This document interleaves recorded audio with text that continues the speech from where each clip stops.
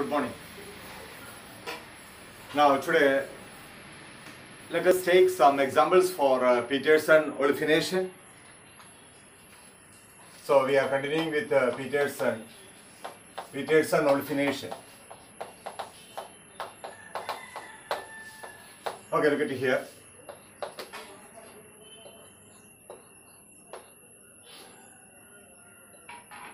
Here is a SIME3. Okay, here you can see that uh, this is broken bond. That means, uh, okay, and here is also OH. And you can see that uh, here this bond is like this, OH. Here is OH. And here you can see that another uh, group like uh, OCH2 uh, bit, uh, uh, ring. Okay, suppose this is the compound, and the, when you are looking at the compound, it may be a little bit complex. And now, when this compound is treated with uh, uh, one sodium hydride NaH, okay, then what could be the uh, product? And uh, suppose if the same compound is treated with uh, uh, HF, uh, uh, uh, HF in presence of uh, uh, water, uh, what will be the product? And uh, of course, uh, you know that, know that uh, when you look at the reagent, you can see that this is sodium hydride, this is a base. And uh, when you look at the substrate structure, you can see that uh, this is a SiMe3 and uh, OH beta hydroxy uh, silane uh, compound. That means uh, definitely this is beta hydroxy silane uh, structure and uh, this beta hydroxy silane is treating with uh, sodium hydride and this is a base. And then the second case um, uh, the same compound beta hydroxy silane is treated with uh, acid. Okay and you know that uh, when beta hydroxy silane is treated with a base it will undergo syn elimination. So i am uh, writing for the mechanism of the first one here what we are uh, writing. When it is treated with a base NaOH means this is base. NaOH is base. That means treatment of uh, beta hydroxysilane with a base. We can see that uh, again I am writing the same structure. Okay I am showing only this part. Okay that is enough. And here you can see that uh, uh, SiMe3 and here it is uh, OH okay and here it is uh, uh, OH. Okay, you can see that uh, here is uh, beta uh, hydroxyl group is here and here also in the beta position there is a OH group. There are two uh, beta hydroxyl group. And uh, when it is treated with a base we know that uh, syn elimination will occur. When it is treating with a base syn elimination will occur. That means uh, for syn elimination the SiMe3 group and uh, the OH must be on the same plane. Then only what will happen the vacant uh, d orbital of Si can interact with the lone pair electron of uh, oxygen. Okay, so for syn elimination, SiMe3 and OH must be at the same plane. That means uh, these two, these two will uh, undergo elimination reaction when you are treating with a base because here you can see that this SiMe3 and uh, OH both are above the plane. Okay, both are represented by broken bond. That means these two are on the same plane. That means uh, this SiMe3 and OH will undergo elimination when you are treating with a base. Then what is the mechanism when you treat with a base? NaH that means Na plus and H minus. This H minus abstracts proton from OH and uh, minus H2 and what we get the rest of the part I am not showing here and we get a structure like this here it is uh, this OH there is no change as it is OH and here you can see that here it is uh, uh, SiMe3 SiMe3 and here you can see that here it is uh, O minus, O minus. Okay, and in the next step, what will happen as we are discussed yesterday? What will happen? This O minus, or you can see that the vacant uh, orbital, d orbital of Si will interact with the lone pair electron of oxygen. Lone pair electron of oxygen. That means uh, here it will interact. That means this lone pair of electron is uh, uh, donated to the vacant d orbital of Si and we get a pentacoordinator intermediate. A pentacoordinator intermediate like this. Okay, here it is uh, OH, there is no change. Here it is OH and here you can see that uh, here it is uh, Si and here it is uh, Me3, SiMe3 and uh, O. Okay, this is a pentacoordinated structure, a pentacoordinated silicate structure because the silicon is joined with uh, 1, 2 and uh, 3 methyl group. That means it is a pentacoordinated intermediate structure. And in the next stage, what will happen? You can see that uh, uh, you can see that uh, this bond, this bond this bond breaks from silicon silicon and it will be migrated between these two carbon. Simultaneously what will happen is the oc bond breaks from carbon and it will be shifted to here. And we get we get a structure like this. Okay here it is uh, oh and here it is oh and what will come here? Here is a double bond okay the rest of the the rest of the part is as it is no change. So you can see that when you treat with a base the double bond is coming between SiMe3 and this OH group because here it is in elimination is occurring and uh, we get uh, this uh, alkene okay uh, that means the double bond is coming in between these two. Clear? Ah, okay. In the second case uh, the the first case is over. We are getting this product and in the second case, you can see that uh, the same compound is treating with uh, H of uh, hydrogen fluoride, hydrofluoric acid in, in presence of water. What is the product? So, of course, here it is uh, treatment with water. When we are treating uh, uh, beta hydroxysilane with the acid, what type of elimination will occur? Anti-elimination will occur. Anti-elimination will occur. That means uh, you can see that SiMe3, this SiMe3 and this OH group, they are anti to each other. This is above the plane and uh, below the plane. That means uh, this OH group and SiMe3 are anti to each other. Therefore, here the reaction is occurring between, the elimination is taking place uh, this OH group and SiMe3. So let us go through the mechanism. So again I am showing only this part of the compound. Here OH uh, no change. And the OH is here OH and here you can see that uh, SiMe3 SiMe3 SiMe3 okay here it is uh, SiMe3 is here. And here you can see that here is uh, OH here is uh, OH okay. When you treat with uh, uh, acid what is the first step? This acid uh, this OH group or the lone pair electron present on this oxygen will abstract. Okay here it is H plus HF here it is H plus. Will abstract this uh, uh, proton will abstract the proton. And what we get? Here it is H, H plus from acid. The lone pair electron will abstract the proton from the acid. And we get uh, we get uh, we are getting a structure like this. Okay here it is our uh, OH and here it is uh, SiMe3 SiMe3 is here. And here you can see that uh, this uh, bond is uh, become OH2 plus OH2 plus. Okay OH2 plus.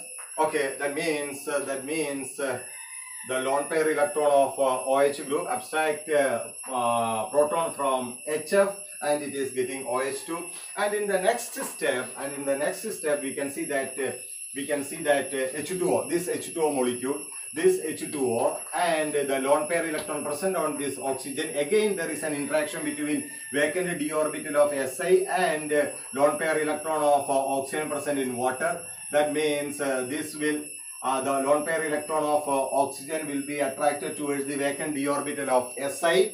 Then what will happen?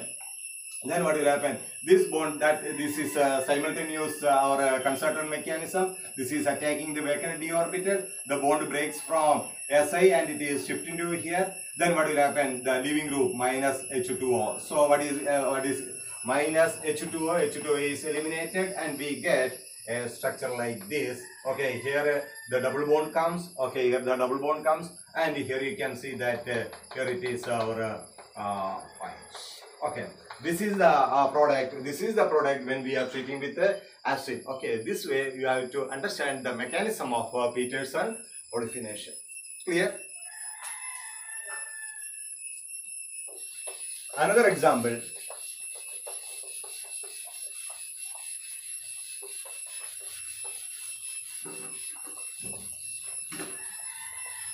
Okay. Look at here. You are given a compound like this or a question like this. Okay, here you can see that. Uh, okay. And it is treated with uh, SiMe3 CH2 CH2 Li. SiMe3 CH2 Li. Okay, SiMe3 CH2Li followed by treatment with uh, uh, one. Okay, what you will get? Then the product is treated with uh, uh, HF and uh, H2O. Okay, then what is what, what, what will you, what will you get? Okay, so let us go through the mechanism. You can see that uh, uh, the okay here it is a keto on group keto group and you can see that uh, Me3 Me3 Si CH2 Li means here is a carbon lithium carbon uh, lithium bond that means uh, carbon metal bond so CH2 minus and of course uh, Li plus. Okay correct? Uh, this way uh, th- this is like this CH2 minus and uh, Li plus because the carbon is joined with the metal so CH2 minus and Li plus. Then what will happen? This CH2 minus this will attack on this carbonyl carbon. This bond is migrating to oxygen. So what we get uh, we get okay we get okay here uh, followed by hydrolysis followed by hydrolysis and uh, here it is H2O okay uh, let it be like that. Okay uh, okay here what we are getting here it is like this. Okay here it is uh, okay. Here what will come? Here it is uh, okay here it is uh, ch2 ch2 okay ch2 and uh, SiMe3 ch2 this is ch2 and SiMe3 and what is coming here? Here it is o minus and followed by hydrolysis means it will change into OH is it clear Okay, CH2 minus is attacking, then it is will change into O minus. O minus on hydrolysis means it will change into OH. So this part, this is the answer for uh, this. Uh, uh, A, A is this one. Okay, A. Now what is B? We are going to B. Then uh, when it is treated with uh, HF, HF followed by H2O, HF followed by H2O, as we have discussed earlier, when OH group, this is beta hydroxysilane group, and uh, this OH is treating with uh, acid. So what will happen? The lone pair of electron of OH group will abstract H plus ion from the acid, and we get we get a structure like this. Okay, here it is.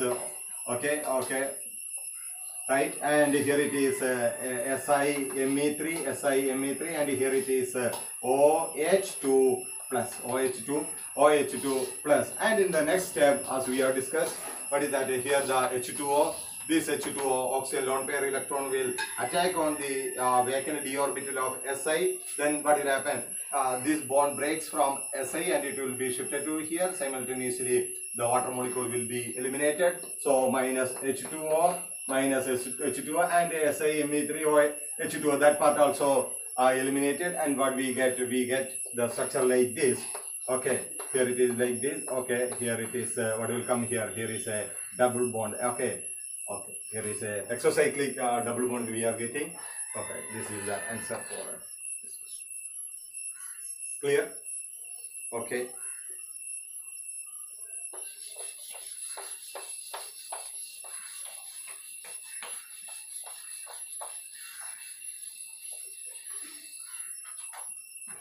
Uh, okay, another uh, C3H7. Okay, C3H7 or uh, uh, SI. Okay, SI SiMe3, SiMe3, uh, CH, C3H7, okay, CH, um, OH, and uh, uh, C3H7, okay, okay, here it is, uh, uh, okay, so here it is uh, uh, treating with, uh, here you are treating with sodium hydride NaH, and here you are treating with uh, H2SO4 or H2O.